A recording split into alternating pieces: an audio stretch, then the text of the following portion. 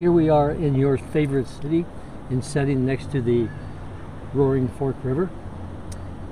Tell me a little bit about how we met, what took place, and what's transpired in your life in terms of health.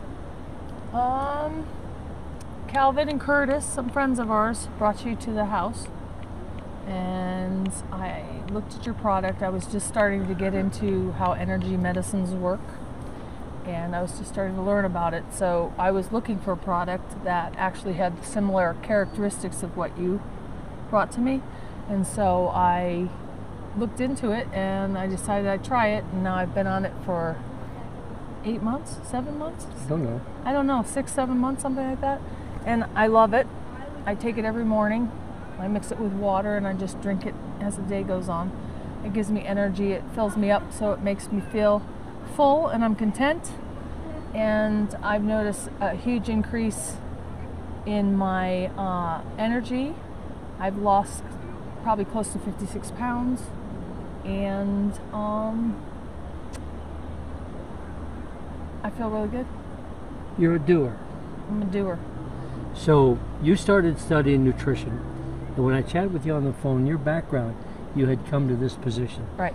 Then suddenly, what I was showing made sense to you. Yes. Different than Extreme sense. Because I different than everything else you looked at. Yes, because the supplements are just difficult, no matter how you look at it. So a change of eating habits included.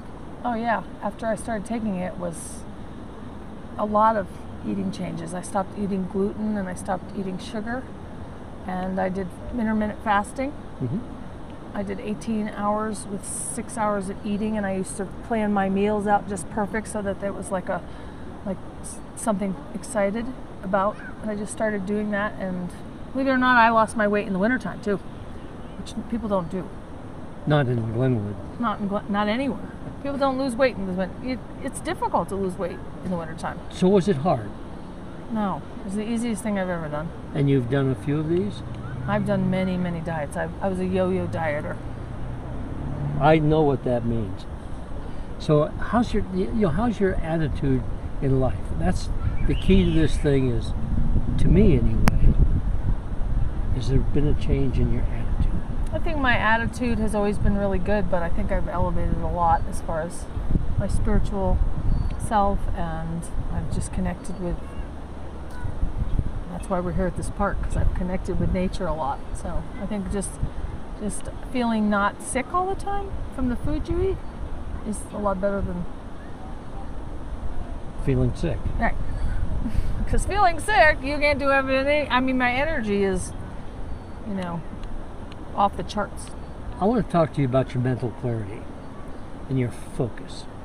Do you see a difference in what you're taking here and the minute changes that you've made in your diet, plus, you know, the addition of the fish, the effect on your your well, your, your mental stability? Yeah, I, I feel a lot more together and a lot more confident. I've, I've also done a lot of spiritual work on Oh. myself, Yeah. so I'm pretty much in a really good space. Are you at peace? Yes. That's key, isn't it? Yeah, it is. So here we sit with the future, looking at people, going, how can I make myself better known to people as to what I did? Because there is a need. Right. So do you see that people are talking to you about how'd you do it?